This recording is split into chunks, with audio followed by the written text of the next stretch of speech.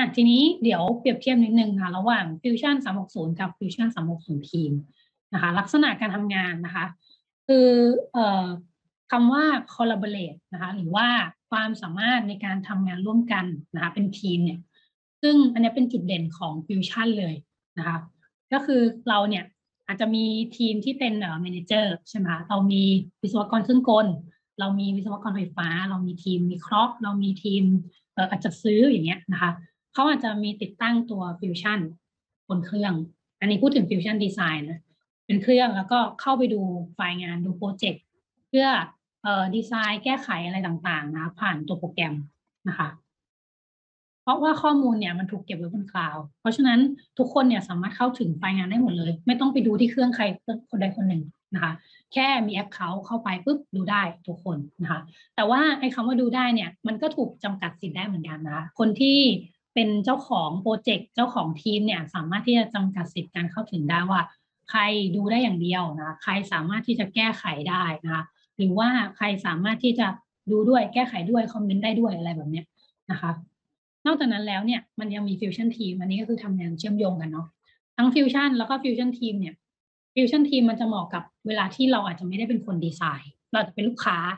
แต่ว่าอยากเข้ามาดูว่าเอองานดีไซน์ไปถึงไหนแล้วนะเราจะใช้ตัว Fusion Team เข้ามา นะหรือว่าเราจะเป็นซัพพลายเออร์เข้ามาดูว่าอ๋อโอเค หน้าตาประมาณนี้ เดี๋ยวเราต้องผลิตชิ้นหน้าตาแบบนี้ใช่ไหม หรือเราจะเป็นทีมที่อยู่หน้างานอะไรแบบนี้นะคะ คือเข้ามาดูผ่าน Fusion Team นะคะ ซึ่ง Fusion Team เนี่ยจะเป็นส่วนหนึ่งของตัวฟิวชั่นที่เป็นตัว mainนะคะอะให้ดูความแตกต่างนะคะ พูดถึงตัวฟิวชั่นเนี่ยอะก็จะเน้นในเรื่องของการออกแบบเนาะ CAD กับ CAM นะแต่ว่ามันจะมีส่วนของการจัดการข้อมูล นะกับการเชื่อมโยงการทำงานเป็นทีมหรือว่า collaborate fusion team อะจะเป็นสองข้อนี้เท่านั้นเองนะคะหรือว่าถ้าเทียบง่ายๆเนี่ยอ่าถ้าเราไปดูบนเว็บเนาะ compare กันเนี่ยก็จะเห็นว่าเอ่อ fusion team เนี่ยเขาจะเน้นเรื่องของการจัดการไฟล์กับการทำงานบนออนไลน์ collaborate นะการแชร์งานต่างๆนะบนออนไลน์ ถ้าเราไม่ได้เป็นทีมออกแบบ เราจะใช้แค่ fusion team เพื่อเอา account เข้ามาดูเฉยๆ แต่ถ้าเราอยู่ในทีมออกแบบเราก็ไปใช้ Fusion ตัวเต็ม เพราะว่ามันก็สามารถทำได้เหมือนกันนะคะอันนี้ก็ลองดูว่าเราควรจะใช้เป็นลักษณะแบบไหน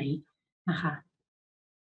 ถัดมานะคะก็ Fusion Team ทำอะไรได้บ้างนะคะก็จะมีเรื่องของการจัดการข้อมูลนะคะการเพิ่มกำหนดสิทธิ์การแชร์ไฟล์บนออนไลน์รีวิวคอมเมนต์การแบ่งปันการออกแบบแบบสาธารณะหรือว่าส่วนตัว